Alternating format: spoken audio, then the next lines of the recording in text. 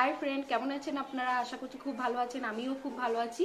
আমার পিছনে ব্যাকগ্রাউন্ড দেখে আপনারা বুঝতে পারছেন যে আমি বাড়ি এসে গেছি মানে আমরা বাড়ি এসে গেছি, আমরা কালকে রাতেই বাড়ি ফিরেছি।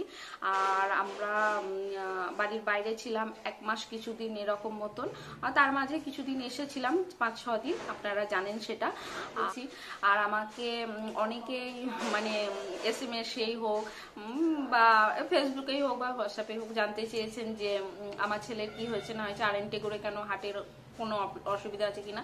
সাধারণত আর আরেন্টেগোর মানে এটা ঠিক যে হাটের অসুবিধা, এটা সবাই ভেবে নেয়। কিন্তু আর আরেন্টেগোরে হাট ছাড়া অন্য দিকগুলোও দেখা হয়। তো আর আরেন্টেগোরের পাশে ছিলাম। আমি বলেছিলাম যে আমি আর আরেন্টেগোরের পাশে আছি।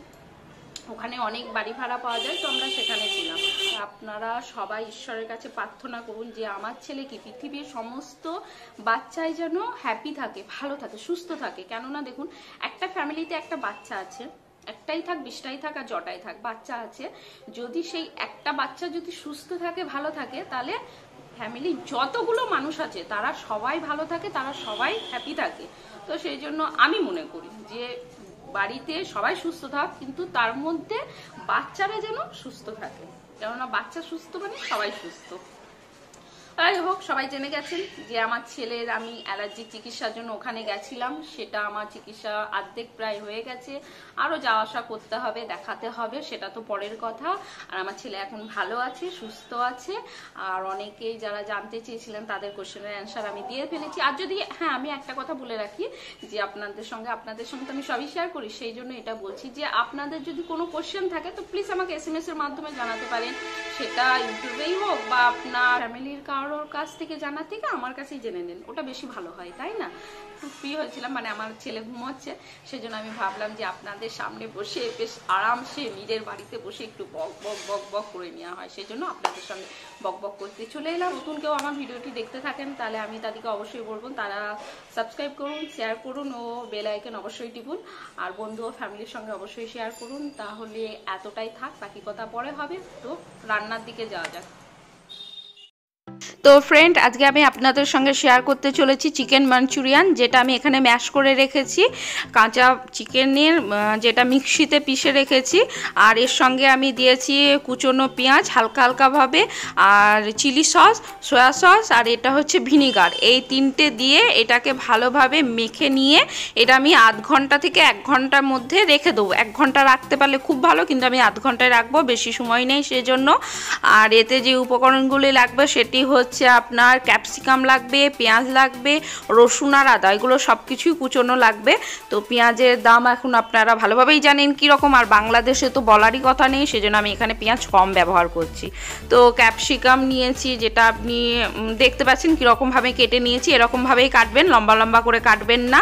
আর ওরকমভাবে যেরকম ক্যাপসিকাম কাটবেন সেরকমভাবে আপনি পেঁয়াজটিকে কেটে নেবেন। এবং ছোট ছোট করে রসুন এবং, আর তো এটা দেখতে পাচ্ছেন আমি কীরকম সাইজে কেটেছি মানে ছোট ছোটোভাবে কেটে নেবেন। তো কাটা এগুলো রাখা আছে, এরপরে আমি যে এটা আমার আধ ঘণ্টা হয়ে গেছে, এটা আমি তারপরে একটু ভালোভাবে মেখে নিচ্ছি। হ্যাঁ মেখে নেওয়ার পরে এটা আপনি যেরকম সাইজে আপনি বানাতে চান যেরকমভাবে বানাতে চান সেরকমভাবে এটাকে ফ্রাই করতে হবে। যেরকমভাবে ইচ্ছে সেরকমভাবে আপনি বানাতে পারেন। তো এখানে আমি আমার মতন করে বানাচ্ছি, আমি মিষ্টি খেতে ভালোবাসি, তাই আমি গোল গোল বানাবো। মিষ্টির মতন। মিষ্টি অনেক রকমেই হয় অবশ্য। তো আমার সব কথাতেই মিষ্টি চলে আসে। তো এটাকে আমি আমার মনের মতন করে নিয়ে এটাকে আমি ফ্রাই করে নেব। তো আমি গ্যাসটিকে অন করলাম, এবার ব্যবহার করতে হবে রিফাইন তেল, সাদা তেল ব্যবহার করবেন।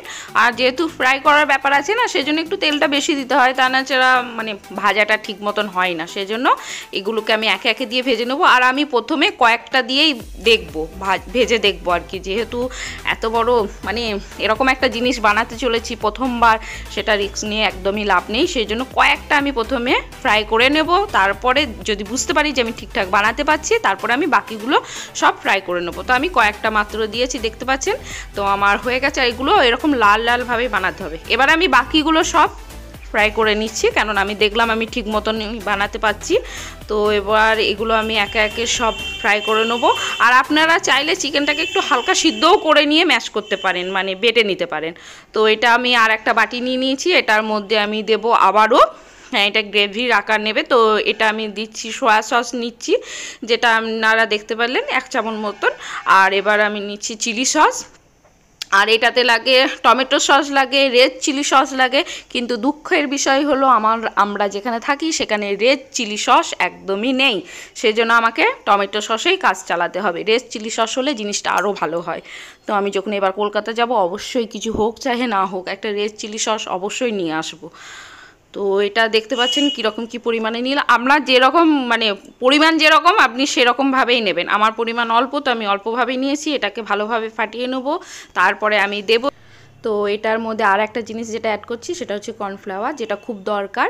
এক চামচ মতন বেশি দেবেন না, কারণ আপনারা সবাই জানেন যে বেশি দিলে রিক্সের ব্যাপার হয়ে যাবে। তো এটা ভালোভাবে মিশিয়ে নিতে হবে। হ্যাঁ একটা জিনিস আপনারা করতে পারেন, যেটা খুব ভালো হয়, আমি সেটা মানে আমার মাথাতে এলো না। আপনারা একটু আলাদা বাটিতে কর্নফ্লাওয়ারটাকে নিয়ে একটু জল দিয়ে ভালোভাবে ফাটিয়ে নিয়ে তারপরে না, ছাকনির মধ্যে ছেঁকে নেবেন। তাহলে ওই দানা দানা যে ভাবটা দেখুন, দেখা যাচ্ছে ওটা একবারেই থাকবে না। এই দানা দানাটা ঠিক করতে আমার অনেক সময় লাগবে। তো এটা খুব সহজ হবে এবং আপনার জিনিসটাও দেখতে ভালো লাগবে। তো এগুলো একদিকে দেখতে পাচ্ছেন হয়ে গেছে, তো এটা আমি আর এক সাইড অবশ্য মানে করতেই হবে। আর এক সাইড ভালোভাবে করে নিচ্ছি। করে নেওয়ার পরে যে খুব খুব সহজ এই রেসিপিটি আমি বলব অবশ্যই বানান, বানিয়ে খান এবং আমাকে কমেন্টের মাধ্যমে জানাবে। আমি মানে আগেও বলেছি, আবারও বলছি, আমার যে রেসিপিগুলো সেগুলো আপনারা অবশ্যই একবার হলেও বানান, বানিয়ে খান, তারপরে আমাকে যদি ভালো লেগে থাকে তাহলে তাহলে কমেন্টের মাধ্যমে আমাকে অবশ্যই জানাবেন যে কীরকম লেগেছে আপনাদের। আর এটা আমি আরও একবার ফাটিয়ে নিচ্ছি, আর অল্প পরিমাণ তেল লাগে, প্রচণ্ড। তো ফ্রাই করতে। তো এই মানে ক্যাপসিকাম পেঁয়াজ এগুলো, আদা, রসুন এগুলো ফ্রাই করতে, এগুলো দিয়ে দিয়েছি, এগুলো কিছুক্ষণ আমি ফ্রাই করে নেব, করে নেওয়ার পরে দেখতে পাবেন তো আমি বলব রেসিপিটি খুব সহজ, এমন কোনো ঝামেলা নেই, তো এটা অবশ্যই বানান। এবার আমি এর মধ্যে দিয়ে দিলাম হলুদ।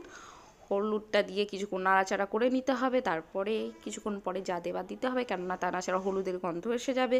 সেই জন্য এবার কিছুক্ষণ ফ্রাই হওয়ার পর যেটা আমি গ্রেভি যেটা বানিয়ে রেখেছিলাম না, আপনাদেরকে দেখালাম আর কি, তো সেইটা আমি এর মধ্যে দিয়ে দিচ্ছি। অন্য কোনো মশলা লাগে না। মশলা সবই আছে, কী বা বাদ আছে, পেঁয়াজ আছে, আদা আছে, রসুন আছে, বাটা কোনো কিছু লাগে না হ্যাঁ? তো এর জন্য বলব এটা সহজ। বাটা বলতে আপনাকে মানে চিকেনটা চিকেনটা বেটে নিতে হয়। তো চিকেনটা আবারও বলছি যে আপনি যদি চান তাহলে হালকা একটু সিদ্ধ করে নিয়েও আপনি বেটে নিতে পারেন, খারাপ হবে না আমি বলব। তো আমি সিদ্ধ আমি সিদ্ধ করিনি। হ্যাঁ তো এটা হয়ে যাওয়ার পরে দেখুন প্রায় হয়ে এসেছে। এবার এটার মধ্যে দেব আমি জল দিয়েছি। হালকা গরম কুসুম কুসুম জল দিয়েছি। তো এটা আমি দেখলাম যে সমস্ত কিছু সিদ্ধ হয়ে এসেছে। তো এটার মধ্যে এবার আমাকে মাংসর এগুলো দিতে হবে। তো এটা ভালোভাবে ভিতরে জলটা মানে মশলা, জল এগুলো যাবার জন্য আরও কিছুটা দেখতে পেলেন। জল দিলাম আমি। গরম জল ব্যবহার করেছি আমি। আপনারাও গরম জল ব্যবহার করবেন। তো এটা দেওয়ার পরে নাড়াচাড়া করে নিয়ে এটা কিছুক্ষণ রেখে দেবেন গ্যাসের মধ্যে। হ্যাঁ তো যেই দেখবেন মাখা মাখা ভাব হতে মানে হয়ে এসেছে, তো তখন আপনারা নামিয়ে নেবেন। আর পরিমাণ অনুযায়ী লবণ দেবেন। আপনার যেরকম পরিমাণ, সেরকম অনুযায়ী আপনি লবণ দেবেন। আর এবার দেখুন, আমার রেসিপিটি হয়ে এসছে চিকেন মাঞ্চুরিয়ান আমার হয়ে এসছে, তো আমার রেসিপি রেডি যদি ভালো লেগে থাকে, অবশ্যই কমেন্টের মাধ্যমে জানাবেন। সুস্থ থাকবেন, ভালো থাকবেন, সুস্থ থাকবেন। দেখুন, দেখতে তো দারুণ লাগছে দারুণ আর